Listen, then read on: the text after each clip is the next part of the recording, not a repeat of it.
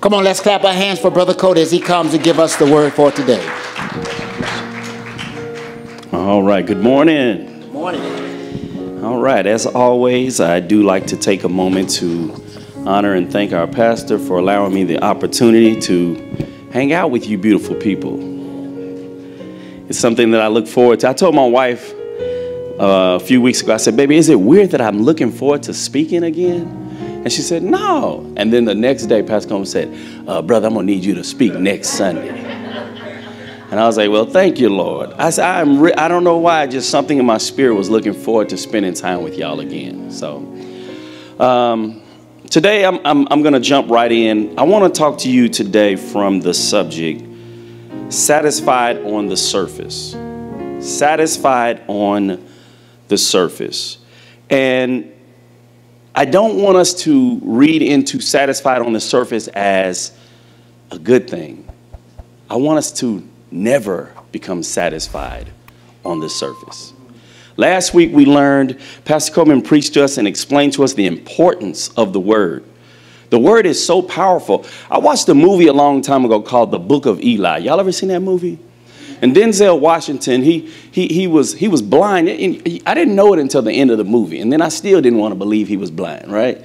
So there's a scene in the movie where the man wanted the Bible, the evil man wanted control of the Bible because he knew that with this book you can control people. That was one of his lines. You can control them with this book. And I thought to myself, how many of us in this world are being controlled by people that know this book but don't know our God. Right? And we will fall into all these traps because we are operating on the surface. We're satisfied with surface relationships. All right? I got a lot of scripture for you, so get ready to write them all down. And if you're not writing them down, pretend you're writing them down. Pretend. Everybody got their imaginary pens ready? All right. The first one I want you to write down is Luke chapter 6, verse 48. And it says this Luke 6 48 says, He is like a man which built a house and dig deep and laid the foundation on a rock. And when the flood arose, the stream beat vehemently upon that house and could not shake it, for it was founded upon a rock. That's what the wise man does. It says he digs deep, he lays a foundation on the rock. If we you and I want a real and close relationship with God, we can never be satisfied on the surface. We cannot have the kind of relationship that God wants with us if we are surface, what I call surface saints, right? Or surface servants. Coming to church is good. Giving your offering is great. Singing in the choir is beautiful. Teaching in the pulpit is wonderful. But that isn't necessarily a sign that you are beneath the surface, that you've cracked the surface. Because there's a lot of people, myself included, who know how to talk the talk, right? I can say a whole bunch of scriptures today, and y'all say, you know what, that was a good word. But when I leave here, does my life look like what I taught you? Because if it doesn't, I'm just on the surface, right? I'm just on the surface. The truest sign the greatest proof that we are no longer on the surface servants is obedience. Okay, Obe- obedience is the greatest evidence that you truly are a person that is chasing after God. Here's your next one Luke 6 46. Again, Luke 6 46, and these are Jesus' words. He says, And why call ye me Lord, Lord, and do not the things which I say? We can talk about what he says, we can quote to others what he says, but until we're willing to do what he says, we are merely on the surface. And I don't want you to be satisfied on the surface. All right. Have you ever talked to someone who says something like that? They get caught into a conversation. It goes, doesn't it say somewhere in the Bible, blah, blah, blah? And it'll be like a weird saying, like, uh, I don't think that's Bible. It sounds good, but but the fact that you use the saying, doesn't it say that somewhere in the Bible, tells you you don't even know if it's in there. When you know what you know, you everybody, well, I ain't gonna say everybody, I've learned to never assume things. Most of us know John 3:16. and you can quote John 3:16. But what does that verse really mean to you? My wife and I walked out of Dollar Tree a while back because we're rich like that. And this little girl runs up to us and she was like, Excuse me, sir. Excuse me. I'm doing a, a scavenger hunt for my church. Can you quote John 3:16? And they were videoing me. So I started quoting and she was like, You're the first person today that knew that. I said, What? I was afraid to ask how many she had interviewed. If we don't know John 3:16 and we are claiming to be his followers, that means we are probably satisfied on the surface. Matthew 7 21 through 23 says this. Again, Jesus' words Not everyone that saith unto me, Lord, Lord, shall enter the kingdom of heaven, but he that doeth the will of my Father which is in heaven.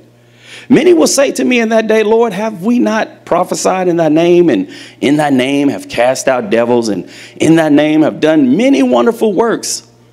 And then I will profess to unto them, I never knew you. Depart from me, ye that work iniquity. Serving on the surface will get us absolutely nowhere. And yes, we may do a lot of good stuff. Uh, Lord, remember that time I put a thousand in the offering plate and, and you know, you know it set me back. And God is like, Pff. you remember that time when I prayed for sister so and so, and you know, she used to get on my nerves and I still pray for her. Like, you haven't done anything wrong. You just haven't really submitted your heart to God. And so the devil doesn't mind us coming every day, every Sunday with a smile and hearing a good word and leaving this place and staying the exact same and on the surface. Because he knows, I don't know if the screen, if my trusty sidekick has put it on the screen. Is the logo on the screen behind you? Can you see the iceberg? You can see it. Okay, I'm going to have to give him a raise. If you notice, the top of the iceberg is here, but everything beneath the surface is huge. The abundance that God wants to give us is after we go beneath the surface, right? We are operating and we're living with this much of what God wants to give us. And we're satisfied, but that's because we don't know what else is in there. The more you start hunting His Word and digging in His Word, the more you're going to want to dig. I've given you this illustration before. If you were to dig in your backyard and find gold, you would never stop digging in your backyard. You wouldn't even have a backyard.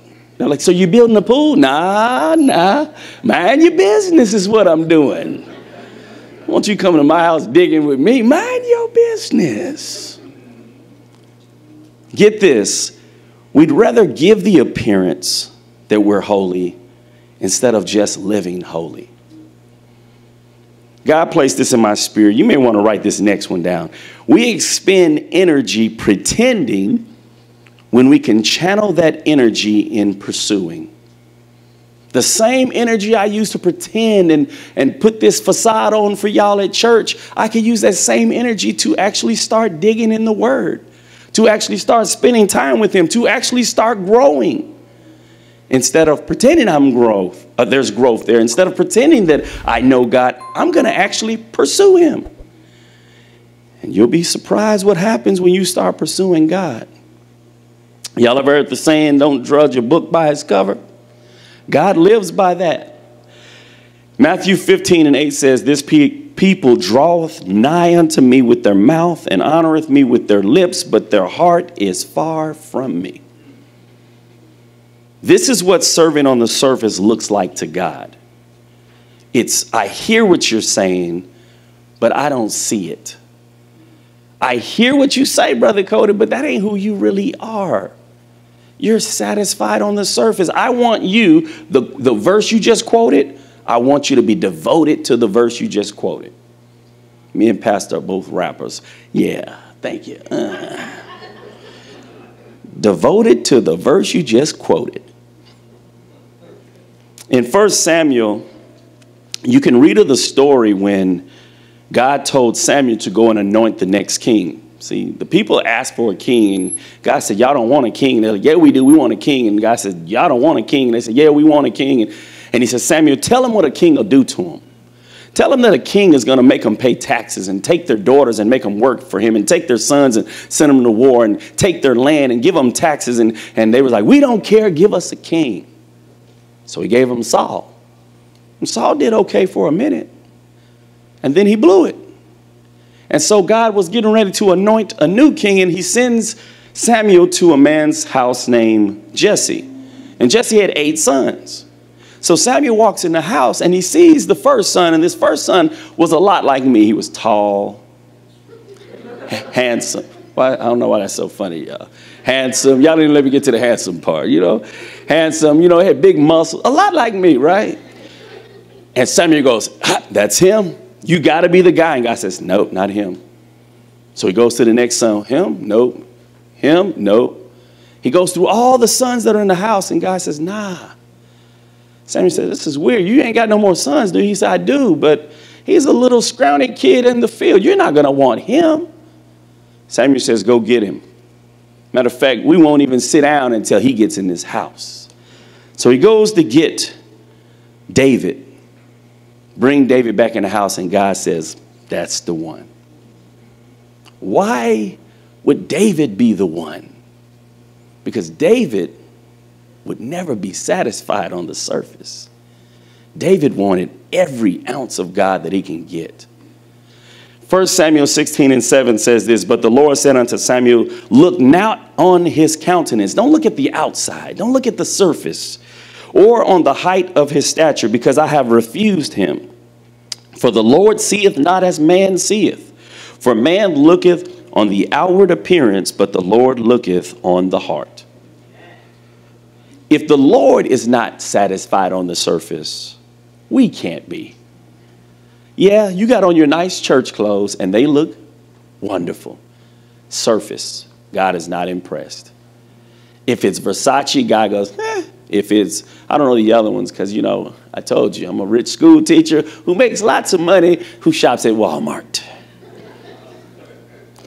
Luke 11, 9, 11 13 says this. And the Lord said unto him, Now do ye Pharisees make clean the outside of the cup and the platter, but your inward part is full of ravening and wickedness. I had taught a lesson a long time ago on Wednesday night, and I brought in this cup and I put some dirt in it, and then I put some water in the cup. And I asked anybody want to drink this? And Everybody's like, nah, you know, what kind of what kind of teacher is this offering dirty water, right? So the I had another cup that was dirty on the outside, but clean on the inside. And I poured water in that. If you were dying of thirst, would you drink this? Yeah. Because what's on the inside is pure, even though the outer appearance might not be acceptable to the world. But what we do is we polish the outside, we take care of the surface, and we never take care of what's inside. And the Lord says, I need, I look inside of you. And what I'm looking at, Brother Cody, I don't like. And yes, everybody in church is fooled because you do a good job of teaching them. But when I look at your heart, Brother Cody, I don't like it. And then it puts me in a dilemma. Lord, show me what you don't like and help me to release that to you. Or I can hold on to it because I'm used to this and no one else knows. You know the enemy loves that. That you will hold on to a appearance when the inside of us is pure rotten. Pure rotten. On the surface, we look the part, but inwardly, we are falling apart. God is not fooled and He wants to help us. He wants to help make what is a facade in our lives to become a fact in our lives. Why fake it when you can make it, right? Why, why pretend to be saved? Why pretend to be holy when you can actually be holy? Everything that you need to live a life that God has called you to live, He has provided. Provided. It just feels weird because it's going to go against your fiber at times. Sometimes he's going to require you to do stuff that doesn't feel normal.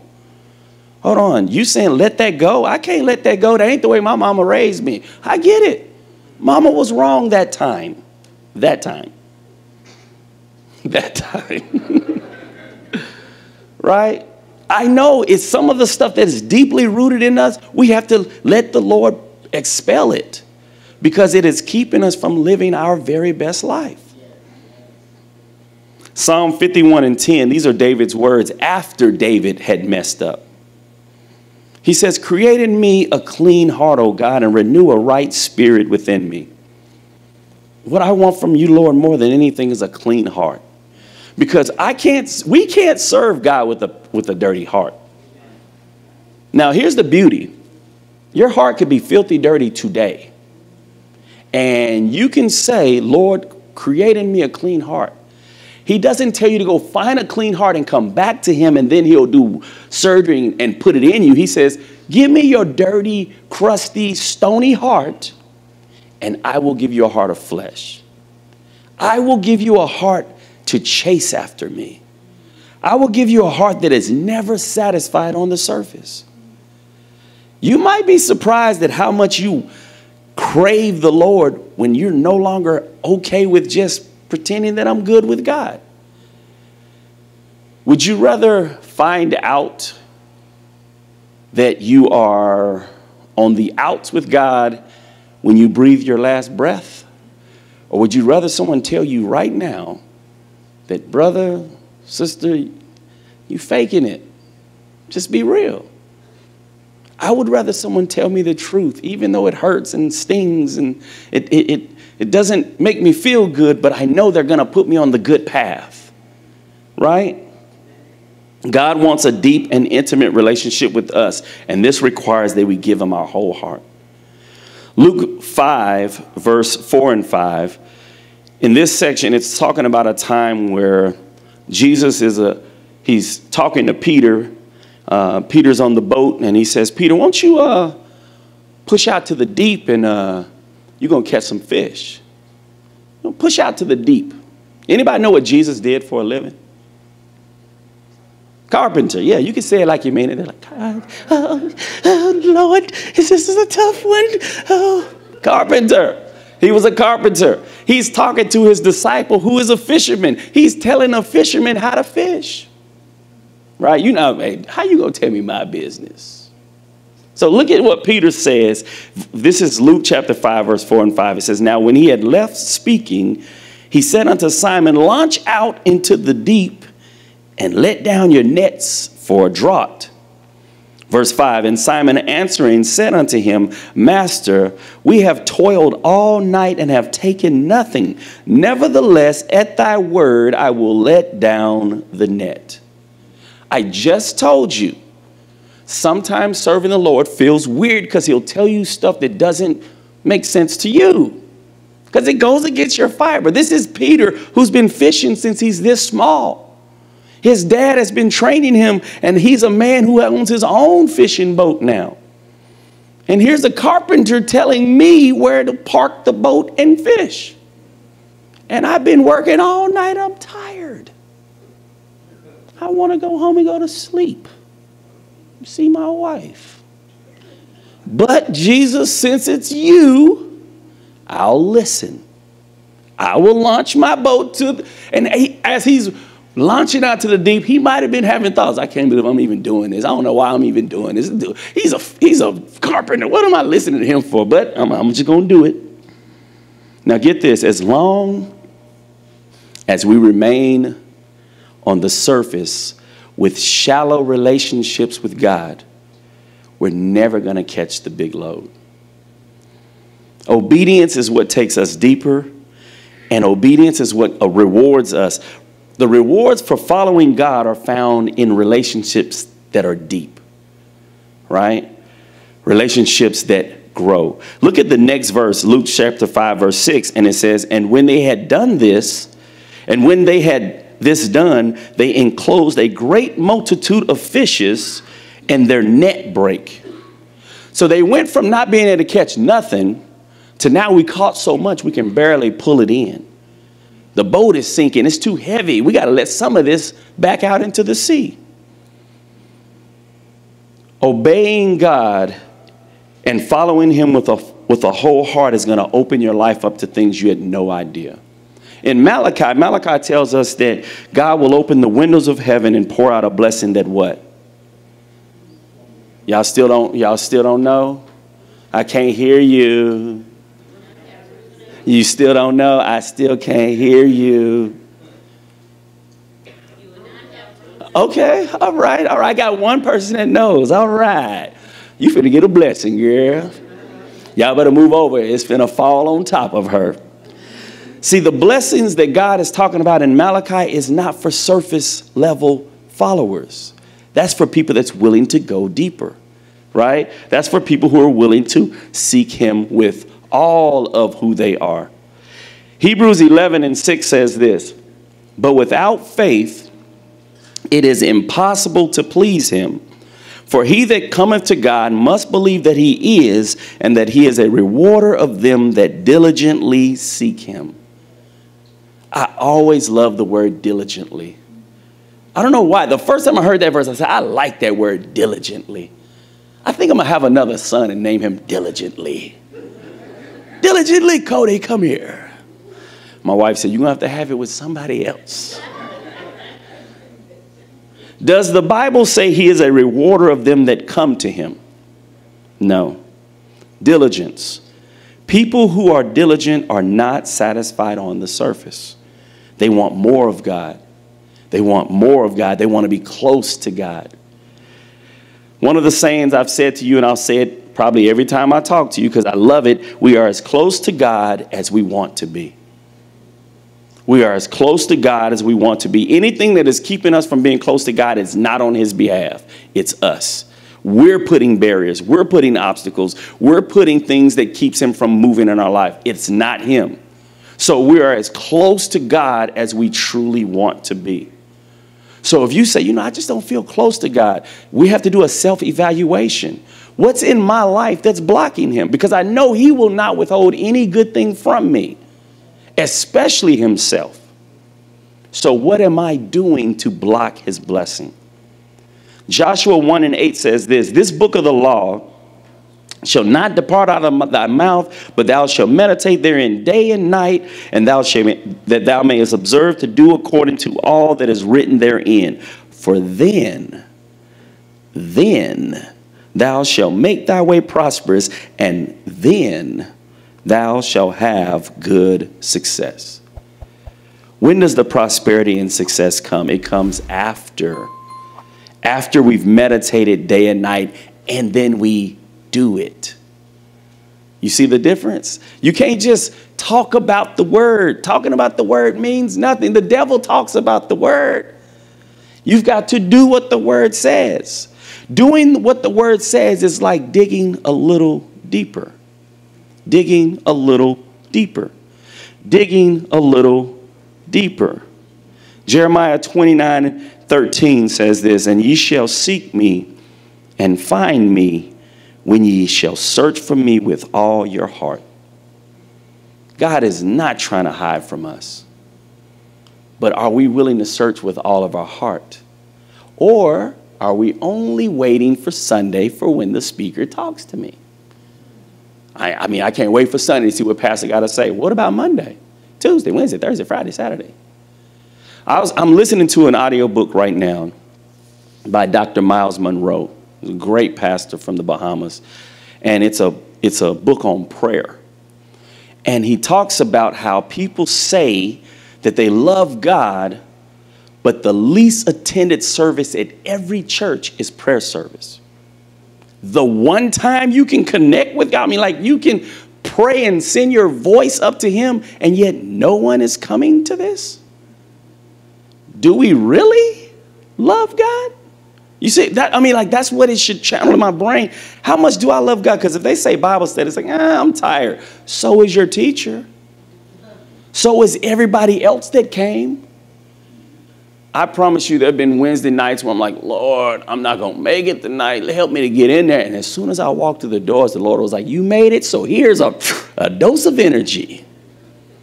Then I can't sleep because now I'm thinking about what I learned on Wednesday night. I'm like, Lord, Pastor's just too good of a teacher. It's so much to digest. Thank you, Pastor. You are right with me. If you show up, God will do the rest. You got to be willing to show up. You got to be willing to show up. If you seek Him with all of your heart, you will find Him. Deuteronomy 4 29 says, But if from thence thou shalt seek the Lord thy God, thou shalt find him if thou seek him with all thy heart and with all thy soul. Are we seeing a pattern here? Finding God isn't hard, but we've got to be willing to go searching. If we really want to experience God's greatest blessings, we've got to be willing to go beyond the surface. Go beyond the surface. In Matthew um, 17, I'm not going to pull this up for the sake of time, but I'm going to tell you about it. In Matthew 17, verse 14 through 21, and you can look this up later when you get home, um, there's a, a boy that had a spirit in him, and the dad brings the boy to the disciples, and he says, Can you please cast this demon out of my son? And the disciples had, had done this before. They had experience with casting demons out before. And for some reason, this one would not give in to them, it, it just would not listen to them. And so the disciples, they come to Jesus and they say, Jesus, can you help with this? And Jesus says, All right, look, he speaks to the demon, the demon leaves the boy. And they say, How come we couldn't do it? Like, what happened? Why weren't we able to accomplish that. And Jesus tells them that some comes from fasting and praying. Fasting and praying. And I thought to myself, most of us don't mind praying. But what if God requires you to fast? See, that's going beneath the surface. That's not easy. That's giving something up. See, a fast is not just food right? Some of us, oh yeah, I, will fast. I, it's not, what if it's fasting your TV time? Oh no, you know I gotta watch my shows now. See, that's what I'm saying. And I'm not trying to make you feel guilty. Please don't don't look down like he talking to me. No, I promise I ain't. Talking. I'm gonna look up over everybody's head so no one thinks I'm talking about them. I, I just I got hey, this is my this is my time. The Lord understands. You're right. But the Lord is saying, are you willing to put all of that to the side to spend this time with me for the greater blessing that you want? Are you willing to go beneath the surface? Or are you satisfied with, Lord, I'm going to say this prayer, and if you answer it, it's meant to be, but if you don't, I'm, uh, hey, that's just what the Lord says. The Bible says, ask, seek, knock. Ask, seek, knock. What if I stop at asking? I might not get it. Seek. I found it, but Hey, it ain't coming to me. Knock. Do whatever it takes. Be persistent. Keep chasing him. Because if you chase him like this, the Bible tells us you will find him. You will find him. But if he requires of you more, are you willing to do more? Or am I satisfied on the surface? Matthew 5 and 6 says this Blessed are they which do hunger and thirst after righteousness, for they shall be filled. If we go deeper, he will satisfy us. We've got to want Jesus, as they say, like a drowning man wants oxygen. I don't know if any y'all, any y'all in here can't swim. Anybody who can't swim? I see a few people pointing at other people. She can't swim. I tried to drown her last week. Have you ever seen a person that can't swim, but they get in the water, but they'll never put their face under the water? It's like, eh, oh no. When I was at TSU, I'm a physical education major, so I had to take a lot of classes. And one of the classes was swimming. And we had an elderly lady in there, and um, she just, she wanted to jump in, but every time she got to the edge, like she stepped back. She, she come up to the edge again, and she stepped back. And then I heard that little evil voice in my head that says, push her in. Uh, I was already saved. So I heard another voice say, You bet not. You bet not push that lady. But all I can imagine, if I'd have pushed her in, she'd have been ah, flailing, ah, even though she could have just stood up and the water been at her neck, because it was only like, you know, four feet. But when you're afraid and you can't breathe, all I want is oxygen.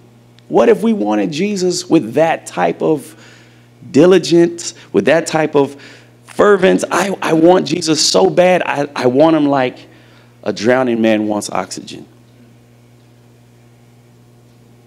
We've got, many of us are expecting to catch the swordfish of our faith fishing in Percy Priest. You can't catch a swordfish at Percy Priest.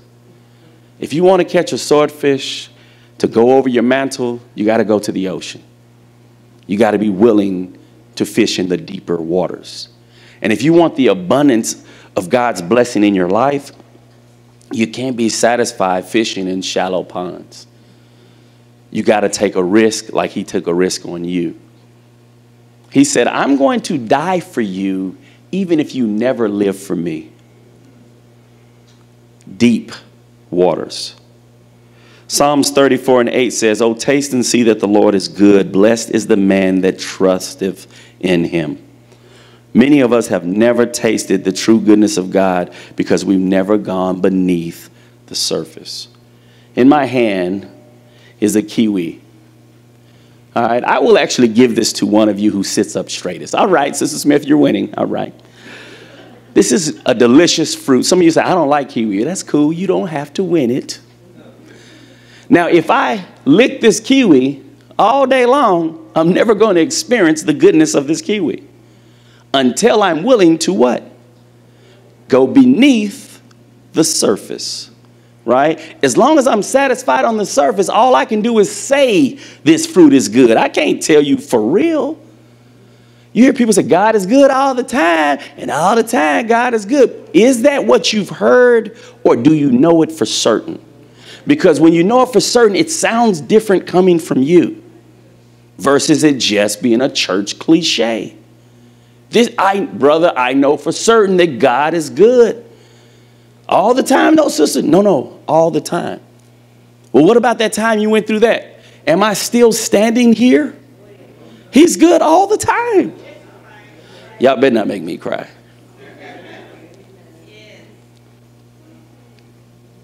Some of us are okay with knowing about Jesus, and some of us want to know him so bad.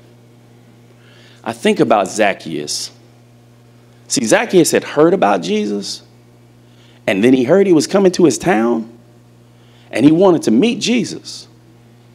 But when he couldn't get through the crowd because he was small, and they, you know, they wouldn't let him by because they didn't like this dude. He's like, I can't, I can't see Jesus. So the Bible says he runs down the road and he climbs up a tree because he wanted to see Jesus. The Bible tells us that Jesus walked down that road and stopped at the tree, looked up the tree, and said, Zacchaeus, come down. Y'all want me to sing the song?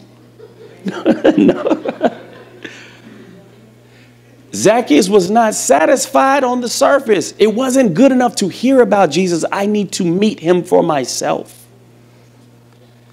I want to commune with him.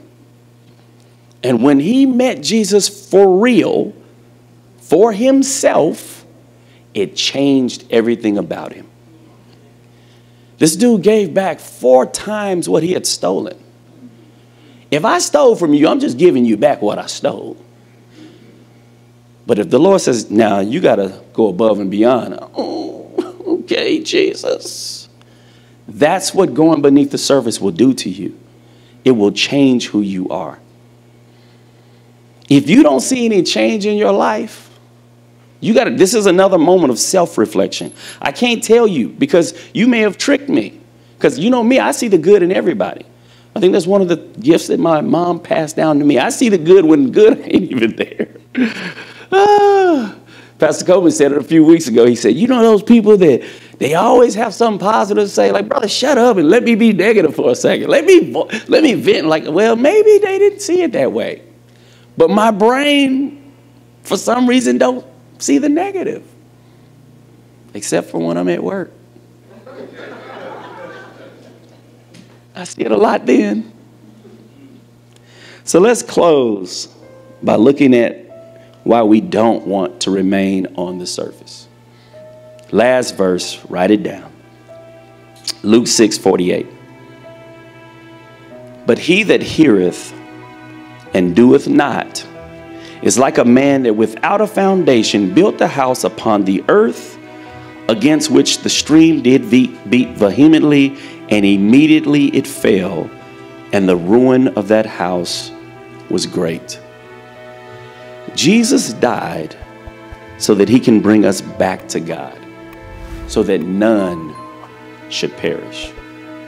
None. So if I perish, because many will perish, if I perish, it's because I refuse to go beneath the surface. I was satisfied with thinking I'm good with God when I could really be good with God. And I don't want you to leave this place going, I'm good with God. I, have heard people say this, this, this statement, it does something to me. I don't know how to explain it. Me and my God are good. Who, well, who is your God? Because if it's the same God that I serve, I don't, I don't think so. Because, and I'm not judging our sins differently. I'm just saying I can see your sin. Like it's blatantly in front of everyone. You have no desire to change it. But me and my God are good. Which God are you talking about? Because the God that we serve, if you're talking about the same God that I serve, He's telling me He's not good with that. But if I'm satisfied on the surface and I've fooled enough of y'all, I might be okay. I read it to you earlier. I don't know if you were paying attention. Lord, I did this in your name. Lord, I did that in your name. I even did that for you, Lord. We good, right? God says, I never knew you. Depart from me. Every person he says, Depart from me, is going to break his heart. But he is a God that cannot lie. And he has told us in his word what is acceptable and what is not. So we have to make the decision, and the best day to make that decision is today to never, ever, ever be satisfied on the surface. As I always say to you, thank you for lending me your ear. I pray that you will give God your heart. God bless you, wonderful people. Sister Smith.